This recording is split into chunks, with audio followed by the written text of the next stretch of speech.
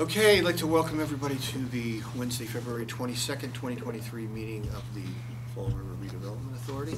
Recording of the open session can be viewed on all Fall Fall River Government Television, www.frgtv.us.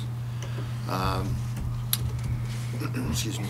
Um, Pursuant to the open meeting law, any person may make an audio or video recording of this public meeting may transmit the meeting through any medium. Attendees are therefore advised that such recording and transmission are being made, whether perceived or unperceived, by those present and are deemed acknowledgeable, excuse me, acknowledged and permissible. Uh, We're going to do a roll call. Uh, Johnny Erickson, Louis Gonzalez. Joan Maderis. Ann Keen. Okay. Also participating are Sarah Page, our Executive Director, John Coughlin, Counsel, Ken Viola, Administrative Services Consultant, and we want to welcome Karen Martin, our new Project Coordinator and Executive Assistant, who, I don't, you may not have met her, have you met Karen before? No, Uh, Just tonight, yeah. Today, today, Mhm. yeah. So, uh, welcome. Thank aboard. you. Um, The first thing we have to do is, we have an election tonight, and uh, I need to entertain a motion uh, for the position of Chair. I nominate John Erickson as Chair of the Board of Redevelopment Authority Board. Second. Second, yeah. Okay? You want to take a vote one at a time, or do you want to do them all at once? Do a vote either each position, or you can do a nomination for all and then take a vote for all at once. You can do whatever you want. Well, we already got one out of three done. so- Want to just vote on that? Yeah. Uh, I'll entertain a motion for the position of Vice Chair. I nominate Ian. Nominate- Sorry. Sorry. That's okay. I nominate Ann Keen as Vice Chair for the Board of Redevelopment Authority Board. Second. second. Third? Uh, uh, I need an- a motion, uh, excuse me, uh, entertain a motion for the position of Treasurer. John Second? Third. Okay. We'll do one vote at the end. Yeah, we're gonna do it in Let's go. another order. We'll do one vote at the end. And also, um, we have the position of ex officio secretary, which, uh, do we know who that is? I don't know that you need to vote Oh, we don't because need it to vote? goes Okay. with the. I think I would just add it to the vote, Okay. just to Add it? confirm. Okay. Okay. Yeah. Yep. So, um, So Sarah, did, did somebody nominate Sarah? For uh, I'll I'll nominate Sarah Page for ex officio secretary. Second. So why don't we do a roll call vote to make those four appointments? Okay, we need a roll call vote to uh, make all those appointments. John Erickson, yes? Joan Maderis, yes. Louis Gonzalez, yes. Ann Keen, yes. Okay, good. Good. Um, It's too bad we don't have Ron, but anyway, hopefully he'll, he'll get here. Uh, uh, We have to do approval of the open session meeting minutes from January 25th, 22nd. Are there any comments on the meetings, on the meeting notes, No. rather? Uh, I I need a motion to approve the open session minutes. Motion to approve the minutes from January twenty-fifth, twenty-two, uh, twenty twenty-two, no, twenty twenty-three. 2023. Yeah. There's a typo there. 23, yeah. Second. Second, and, okay, roll call. John Erickson, yes? Joan Maderis, yes. Louis Gonzalez, yes. And Ann Keen, yes. Okay. Need to approve the warrant, which I think you all have. Which totals three hundred fifteen thousand, five hundred thirty-one dollars and eighty-seven cents. You're good with that, Joan? Yes. And I had signed off on it. Yeah. Okay. Um, So I need a motion to approve this warrant. Motion to approve is presented. Second? Uh, Okay, John Erickson, yes? Joan Maderis, yes. Louis Gonzalez, yes. Ann Keen, yes.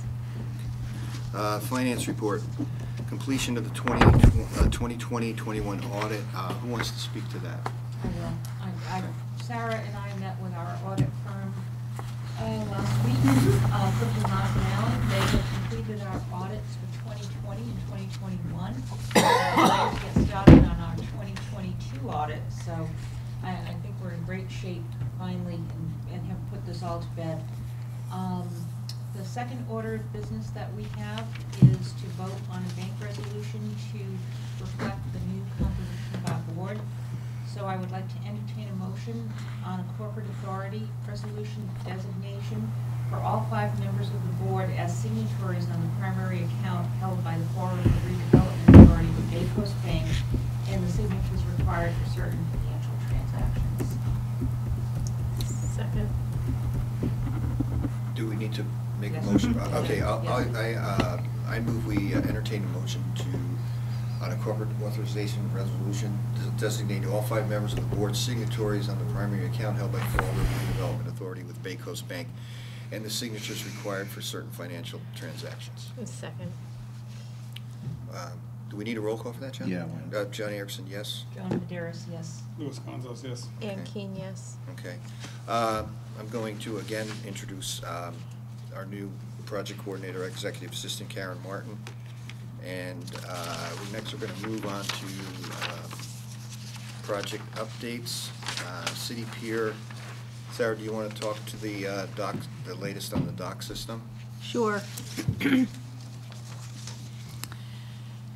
So I was talking with Johnny about this. Ken and Karen and I were on with our um, design firm uh, yesterday, and um, we're still somewhat uncertain exactly what materials to use for the docks, and we got news that they were thinking that it was going to take so long to, um, uh, to order all the materials, once a contractor is selected, that we might not get the docks in until sometime in August, which is totally unacceptable, given that we're trying to get it in for this year's boating season. And so we're working on that to try to, um, figure out other strategies so that we can get the docks in sooner. And so, um, I think there's some level of frustration here, and we're gonna try to get to the bottom of this. Okay. Um, Do we need, do we need to put out an RFP for landscaping and snow removal? Yeah, we have to, and because there was no snow this year and they haven't had to go out, we, we thought that we would have really maxed out our allowable, um, payments by now. Um, you know, we, we need to go out to RFP at some point, but we may be able to put that off for another month or two. And, um, we're going out to RFP for numerous things soon, so we might just do that in May or, you know, I thought we would have to do it by now, given uh, that we thought we were opening it earlier, and so we would have had more landscape costs, and then we thought we'd have snow costs, which we really haven't, so, um, so that's just letting you know, we may be able to wait a little longer on that. Doesn't May seem late, though? Yeah. Because if we're gonna go to RFP in May, that means we probably won't have anybody till June or July. Right, but I guess the thing is that we hired, we did um, a good business practices and looked at a number of people and hired someone who we can pay up to ten thousand dollars in this contract period, and we've gotten nowhere near ten thousand dollars. We've spent maybe fifteen hundred or something. Okay. So that would allow us a little more time. But if we were trying to put it out so that, you know, we RFP'd for this entire spring, summer season, yes, we mm-hmm. would need to, you know, have it out now. Sarah, But how much, what's the ballpark, do you think, on, on how much it costs? He gave us ranges. Well, he gave us all these amounts for particular It was services, event, but, like event-based, the snow anyway. The only reason I ask that is because you, you really truly only have to do a full RFP for over fifty thousand for the year. oh, 'Cause for a un- year. Under, fi- well, if you do a one year at a time contract. Right. So if it's under fifty, we can do three written quotes. It's a quicker process than a full RFP. Right. So it just depends on the dollar amount, so. Take a look and co- come up with an estimate, but if we're, If we're under It's gonna 50 be under fifty thousand a year for sure. So then we can do three written quotes and that's it. Okay. Yeah, Okay, it'd be a lot quicker So I think all he did was the initial cleanup, right? The land, the, he did Oh, two. He two? did a Two? prep for winter and a big Okay. cleanup before our grand opening. Um, but still, I think it was under two thousand. Do you- So, do, you recall, did we get billed for that? yeah, We did? Uh-huh. Okay. All right, good. yeah. Um, Next item is uh, the, um, The, what, the, do you want to talk about that? Sure. The Massachusetts Office of Travel and Tourism Grant. And it was brought to our attention by Patty Rego, who suggested that um, the new grant writer for the city, Jasmine, could write a proposal for us. Patrick, she invited Patrick and me and Jasmine to meet and talk about opportunities. And I sent her um, one suggestion. So we have lots of suggestions floating around, and the grant is due at some point in March, I believe, before our next board meeting. So I hope to have a real solid proposal for you, but we're kind of not finding agreement on what we should do. What I suggested in response to Patty's, um, you know, email to me was maybe we should, uh, oh, so you can ask for up to two hundred and fifty thousand. It's a capital grant, and so you have to be, um, but I think you can ask up to fifty thousand, up to fifty thousand if you want to do a study. So Patty's real proposal is that we do a feasibility study for what we might want to buy to enhance City Pier to make it more um, usable for events. You know, one of her desires are bathrooms, and I told her I did not think we were uh, going to want to maintain bathrooms. The city itself is not wanting to maintain bathrooms, even though they have them along the waterfront. So, um, you know, she wondered if we would want to put big shade structures, um, which, you know, we had wanted shade structures originally, but she was proposing that a feasibility analysis might look at big sails that would uh, be placed across the, um, the uh, lamp posts, but the question there is whether in this high-velocity zone you could do that. So almost any feasibility analysis will have to look at all kinds of, um, uh, you know, constraints of this site, when you- we all know there are many. So, um, then I suggested we buy, we asked for money to buy a tent that we could put up for all or parts of the season. And she didn't like that idea because she said most vendors will bring their own tents and um, she just didn't think that was a great idea.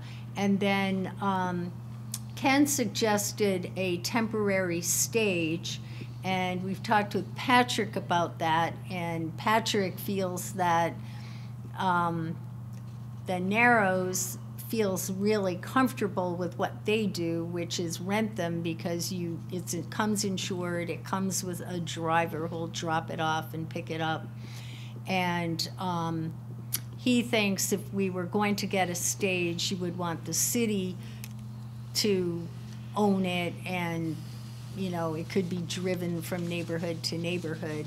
But um, he's not really that in favor of that idea, which seems surprising. He did say it would save the Narrows money, but that somebody has to take responsibility for driving it, insuring it, and he wasn't envisioning that it just sit on um, City Pier. When I heard of a stage, I thought they meant what Eric had originally designed, which was some kind of platform that would just raise the performer up a little bit, not an elaborate open up um, into a big stage. So we have lots of ideas floating around. We need to make a decision quickly. Uh, I think Ken and I both feel like we have a zillion studies going on right now, and Ken's view was let's get a real, you know, let's do things, let's get a stage out there. But Patrick feels that, for, at least for this first year, he's happily going to do a few concerts and just rent a stage. Well, Ken, you said there was a deadline for March, but we would, would we have another opportunity I don't think point? that, I think the deadline is mid-March, so I don't think we'd really have another opportunity to bring it back. Ever? Oh, no, I mean, it's Oh. due this March, you Oh. could apply next year. You know, Oh, it's so kind a of a year. yearly grant, and it just came up after the last board meeting, so, um, you know, it's the kind of thing, if there were just the perfect idea and proposal, we could just crank it out and apply.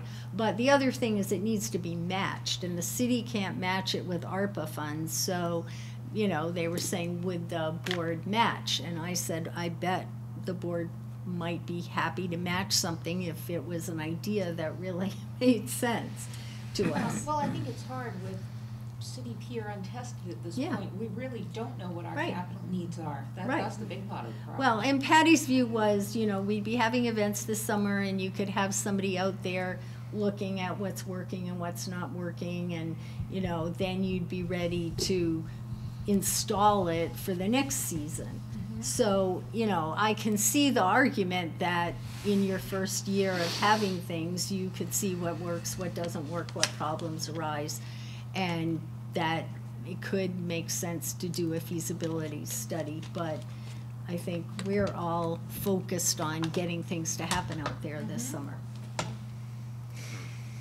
So, what do people think? So Ken, what kind you- of things can you use the money for? Is it a particular, It has to be capital costs or something like a feasibility study that would lead to a capital, um, commitment, I think. Okay. I'm just not sure what they're gonna study. Oop, sorry. Study how well concerts do, study how well fairs do, I don't know. like- Well, you know, you could study that everybody's little pop-up tent got blown away and that, you know, you need something more coherent to hold them all down or, Yeah, I mean, you that's know. gonna kind of work itself out though sort of, Yeah. right? I mean, we're kind of walking before we run. Right, Like So- Joan said, it's, you know, we're gonna, it's almost like we have to see how it goes and then what the interest is, right, in it? Mm-hmm. Yeah. I mean, I, I think, I think the big tent would, could be a good idea, because we can have like, um, like a, what's the word I wanna use? Um, you know, like a open air market kind of thing on certain days, and they'll drive people down there and use it, as opposed to, remember they used to do it at Kennedy Park, they still do it at Kennedy Park? They do With the- farmers The market. farmer's market, still do that there? Yeah. Don't forget too, you're gonna have that Route seventy-nine construction, which is gonna make a difference for Oh. parking on Wall Street and Yeah. everything else down there, right? Any, Yeah. anything that you do, a big tent, you just, I think, you know, first of all, you got issues of irrigation and Right. the lawn. Uh, secondly, you put a tent up there, you're gonna have people congregating under a tent at night. yeah. Oh, So And, people, and the other thing is to have people who know what they're doing with installing a tent Right. as yeah, well. so, Yeah. I don't. The I- idea I- of leaving it up all summer is unrealistic. Yeah, I just think that, um, I don't see any validity in doing it in a study. Um, Yeah, this is your pier, this is the redevelopment authority's pier, it's not the city's pier, it's not anybody's pier, it's your pier. Well, Yeah. Patty as Well, no, tourism no, director feels like excuse she me, should be right. planning. No, no, well, first of all, it's your pier. Yeah, It's the I know. Redevelopment authority's pier. The redevelopment authority dictates what they wanna see occur on that pier. They could take certainly suggestions from other people, but at the end of the day, it's your pier, your liability. You know, I think you should, you know, think about what you wanna use that pier for in terms of events and whether or not you want a stage, and that doesn't have to become the city stage. Mm-hmm. Or Right. maybe if you're not, if you're only gonna do three, two or three large concerts, maybe you just rent the stage. Yeah. Right, as opposed to buying it, right? Let, let 'Cause- the vendor do it. just well, Right, you know, because the stages are expensive, you know, we're looking at one that's hundred fifty thousand dollars, that's a real nice stage, but it's a big expense. Could you get it through a grant, maybe, but if you get grant funds for it, then maybe it's worth it, but I would just be very cautious as to having, because this is what's gonna happen, you're gonna have all kinds of people coming to you with various suggestions as to what should and shouldn't occur on that pier. But at the end of the day, you know, that you're up here, you gotta figure out what you wanna do with it. And if that's a schedule of events, you do the schedule of events, but, you know, this other stuff, you know, there's, the pier is a wide open space, it's a public space. Um, it's a high velocity zone, we know we can't dig into it very deeply. So I think we just gotta be cautious of that, as John says. Well, the parking's gonna be for the next few years. You can't Parking's park on gonna Wall be- Street, right? Right, we're working on some parking issues now, but, but, but you're right, we're probably, there's eighty-seven parking spaces along the Wall Street south, and most of those are going to, if, I think all of them are going to be eliminated, so. Is people are that, gonna have- you- like, between Point, that stretch along Point Gloria and? From, I think from Point Gloria down to the Cove. Yeah. Yeah, um, so, When are they gonna be eliminated? Probably at the end of this month. They're already doing quite a bit They won't be coming back for a while. They, well, they'll probably come back, at- yeah, they probably won't be, come back to the end of the project for the most part, but there'll be, there'll be, you know, I think people, people might actually have to walk. They'll walk the boardwalk and That- park that at People will have to walk. People, it's a Yeah, foreign but that's gonna concept, so limit what people are we gonna do, be though. able to have to walk. See, Yeah. if you can't park, you can't go, for the most part. You can Well, you walk. can, you can walk. You can, but it's gonna limit the amount of people, even like a concert. you Well, know? Woodstock, Depends you on have to who walk walk who you along want, who the concert, who the concert, Yeah, you know, exactly. who's the entertainment Depends on the draw. I think you almost treat this summer like a pilot. Yes, like a Exactly. test. That- that's- Yeah. that- That's my, my view. to. This is untested. Yeah. We need to understand what the demands are and what we Yeah. need. Right, Right. maybe, maybe what the city should be doing is going after a stage right. as part of the grant. I'm gonna suggest that, Right, the, right, the city, if it's a grant. but they can't match it, I guess. Of course you can match it.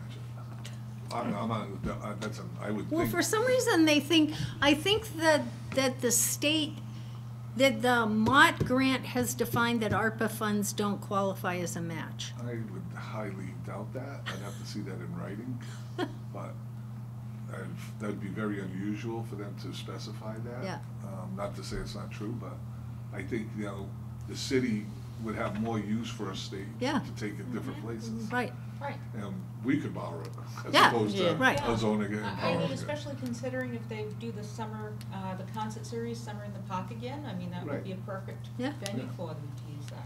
Right. what did they use in the past? I thought the city at one time did have a They stage. did. Yeah, They do, they still have a Yeah, temporary stage. yeah, They use it yeah. for, um, the Narrows uses it. Right, At some, for some of their, for some of their uh, Huh. shows. Yeah. The way I knew is they used to, with the downtown, they used to use the city stage. They used to have it on Main Street. Right, right. That goes back a ways. Only oh, pre-COVID. pre-pande- Yeah, Yeah. pre-pandemic. Yeah, it's only three years. so. but now the Narrows just rents them, Maybe they're bigger stages. Maybe Okay. they're there for longer Right. periods Yeah. of time. Right, right, Right? Right. yep.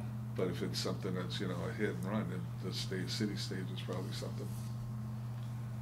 So I, I don't know, I think at this point, I think maybe just using this as a year to figure things out, especially since it's gonna be impacted by the construction. Yep, Seems like there's a lot of small things you could do, like even, I know, like some of the parks in Boston, they'd have like kite day, mhm. and people would just come and do kites. I thought we was, I thought we were gonna do things like food truck festival, Yeah. or Yeah. maybe, Right. maybe an art festival, maybe. Yeah. Right, but I'm saying there's also like simple things that Yeah. don't Right. require a lot of infrastructure Yeah. or anything. you know? Right. Yeah, and I think Patty's planning on those. And her view is that all the vendors that she brings for things know to bring pop-up tents that aren't gonna blow away, and so she didn't think Yeah, we they just, we just a have to make tent. sure everybody knows that they have to use Barrels. water barrels or sandbags, that they Yeah. can't drive Right. stakes. Right. Yeah, I think she said they usually use sandbags. Yeah. Okay, so we're gonna pass on that, and I will bring it to the city, you know, are they looking at wanting to buy a tent? I know years ago, I we mean, a- were, a I think stage. it might have been the same grant, but years ago, we tried to put in a half shell at the uh, Heritage State Park, Hmm, I remember that. but we couldn't get the city council approval for it. But that may be but something. why we did the city council have to approve Heritage State Because it was Park? a city match, Right, yeah, but it wasn't, I think it's only twenty-five percent, so it's not that big an item. I thought it was fifty. I think in those days, it might have been Okay, twenty-five percent. yeah. So, so Ca- uh, Sarah, can we put it like on the calendar for like January next year to think about Uh-huh. going after this grant Yeah. for next year Yep. or December, and we can see how things went this year and Yep. think about what we might want to Mhm. request. Okay, Any other uh, pier uh, nope. uh, issue? So, um, Sarah, do you want to talk about the Pleasant Street roadmap? Yeah, I don't really have much new to report. I thought I might when I first planned the agenda, and basically, we're just getting more comments back to Emily and going to finalize the roadmap. And um, uh, in Emily's contract, she had defined a somewhat limited number of public meetings and meetings of our Citizens Advisory Group. So I'm proposing that we now um, hold some without her because we, we need her, we need to keep her remaining meetings for the big public meetings. So I think now we'll start um, holding our own citizens advisory group meetings, because we really need to get back to them and say, here's, you know, here's the final draft of the roadmap, and, um, I've gotten a couple of calls from members of that group saying, hey, what's happening? And I told them that we'd get everybody back together. So at least the good news is the roadmap is getting done and we'll be moving on to the urban renewal plan and we're still trying to figure out how, exactly what our strategy with MEPA is to try to move that forward quickly. So that's that update. Um, just for a point of information, Ron Rusin is on his way. Okay. Thanks. Is he going to knock, or? I said text me and I'll let him in. Um, Downtown Historic District expansion, Sarah? Yeah, our consultant is working along. I think that's going well. He's keeping himself on schedule and we should be looking at having public meetings to make sure the community's on board with the plan sometime in the next few months, probably June or so. So that's moving along. Is he going to be coming back um, in person soon, do you know? Yeah, for the Yeah. public meetings, but Okay. first he has to send the documents he's working on to the Historic Commission, and they have to agree that the proposal um, meets their requirements. They agree that we can just expand the one historic district and that they buy our arguments and don't require that we create two downtown historic districts, which is still a potential challenge. And we think we're, um, that we're being successful to, um, convince them that we really just want one downtown historic district and that the history of the buildings justifies that. Um, so that's what he's really working on right now, and when we hear back, when he gets all the documents to the Mass Historic Commission and we hear back from them, then we'll be ready to do public meetings. Okay. So that's still a few months off, but he'll definitely be coming for those. Okay. Are there any more open uh, session issues you guys want to discuss? Okay. Uh, The chair makes a finding that an open session would have a detrimental effect on negotiating and litigating position of the public body. The purpose of the executive session to is to approve the executive, excuse me, executive session minutes from January 25th, 2023, and discuss strategy with respect to potential litigation regarding the city pier project and for potential real estate transactions on the agenda, including property on Innovation Way and Duval Street and the potential purchase of a building to be leased. Uh, Need a roll call to uh, enter into executive session and not to return to open session. Johnny Erickson, yes? Joan Maderis, yes. Louis Gonzalez, yes. Ann Keen, yes.